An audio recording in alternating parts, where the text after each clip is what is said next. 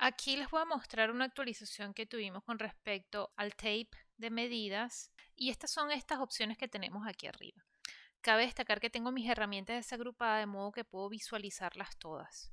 Y anteriormente teníamos un grupo de funciones llamada Avatar Tape y estas fueron agrupadas de la siguiente manera. Y me voy a ayudar de esta imagen para mostrarles la diferencia entre la barra de herramientas del 5.2 y del 6.0. Y anteriormente teníamos estas funciones llamadas Avatar Tape y estas funciones fueron reclasificadas y ahora se consiguen de esta forma en el 6.0 y se llaman Avatar Measure. Y a continuación les voy a mostrar la funcionalidad de las mismas. Voy a utilizar este mismo proyecto en el que estaba, voy a eliminar lo que sería la parte del top o ocultarlo porque quiero trabajar con mi pantalón primero. Voy a alargar aquí mi 3D para poder ver todas estas herramientas y voy a empezar con Surface Circumference. Esto me va a permitir crear una circunferencia alrededor de mi cadera donde quiero colocar mi pantalón. Voy a colocarme una vista frontal y eh, para lograr colocar esta circunferencia, esta medida de circunferencia necesitamos hacer tres clics. El primero sería el punto donde empezamos, donde queremos que empezar si ahora presiono Shift, van a ver que me va a aparecer esa, como esa guía, esa línea guía. El segundo clic me va a permitir empezar a crear esa circunferencia ahora puedo soltar Shift. Y moviendo mi cursor puedo eh, moverme hacia atrás, puedo también definir dónde quiero esa circunferencia. Y con un clic puedo colocarla. Y ahora voy a, irme a Attach to Measure y para utilizar esta función debo seleccionar todo el orillo del patrón que quiero atar a esta línea que acabo de dibujar. Entonces voy a empezar, selecciono el, el borde del patrón, selecciono la línea, selecciono el borde del patrón y así sucesivamente hasta seleccionar todo el orillo. Si ahora simulo, mi pantalón se va a ajustar a esa marca que he realizado. Voy a parar la simulación y mi pantalón va a continuar en esa marca. Ahora a continuación les voy a mostrar la diferencia entre el Basic Circumference y the Measure Circumference. Entonces voy a empezar con el Basic y voy a hacer clic para empezar.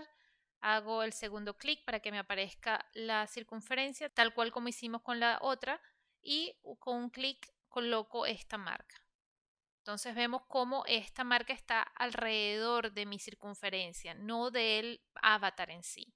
Ahora voy a seleccionar la otra Surface Circumference y voy a repetir lo mismo en la misma área para que podamos ver la diferencia. Surface Circumference y voy a empezar con un clic, igual que el con la anterior, hago el segundo clic y hago el tercer clic para marcar esa circunferencia. Y aquí ya veo muy clara la diferencia entre ellas. Ahora yo puedo fijar mi pieza de patrón a cualquiera de las dos. Si deseo eliminarlas, me voy aquí a la opción de editar y puedo seleccionarlas y eliminarlas. Ahora vamos a ver lo que son el Basic Tape y el Surface Tape. Ok, ahora vamos a continuar con lo que sería el Basic y el Surface Tape Measure. Voy a demostrar el Basic Tape y esto funcionaría muy similar a lo que sería una cinta métrica en la vida real. Es decir, que no va a seguir la curvatura del cuerpo a diferencia del Surface Step Measure, que esta sí va a seguir lo que sería la curvatura del cuerpo. Algo a tomar en cuenta cuando estamos utilizando el Surface Tape es que si van haciendo clics, clics eh, izquierdos, clics simples, a medida que van trazando su curva, pueden eh, manipularla, pueden manipular la dirección en la que quieren que vaya. Y si quieren regresar un paso atrás, pueden presionar Delete en el teclado e ir un paso atrás. Esto las veces que queramos. También podemos em, hacer clics a medida que vamos y cuando queremos finalizar el trazado hacemos doble clic.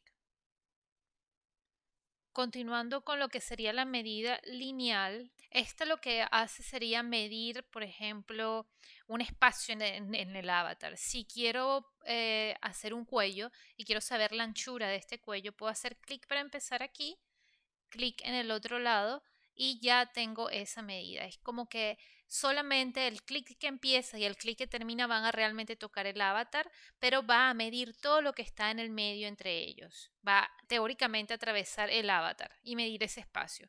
Voy a mostrarlo nuevamente aquí. Si por ejemplo quiero medir la profundidad de la cadera, puedo hacer clic en el posterior, clic en el delantero y ya tengo esa medida interna. Ok, ah, por último tenemos el height measure o la medida de altura y esto va a medir la distancia entre el suelo y el punto que esté tocando en mi avatar. Si yo muevo mi cursor, voy a poder ver esa distancia que tiene el suelo hasta ese punto. Por ejemplo, aquí puedo medir la distancia de mi entrepierna o el largo de mi entrepierna y si hago clic, mantengo esa medida fija ahí.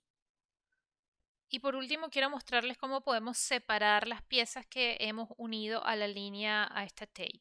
Si me voy aquí a la herramienta de editar tape, puedo hacer clic derecho y me van a aparecer dos opciones. Separar este un tape, el que seleccioné, o separar todos los tapes. En este caso tengo un patrón que uní con varias líneas, con varios tapes. Entonces en este caso tengo que seleccionar separar todos, ya que si selecciono separar solamente el que seleccioné, va a separar ese, ese segmento nada más, pero veo que mi posterior sigue unido a, esta, a esta marca. Entonces, para poder separar todo mi patrón, debo seleccionar separar todo. Y ahora si simulo, puedo manipular mi pantalón y está totalmente separado de esta marca que hice.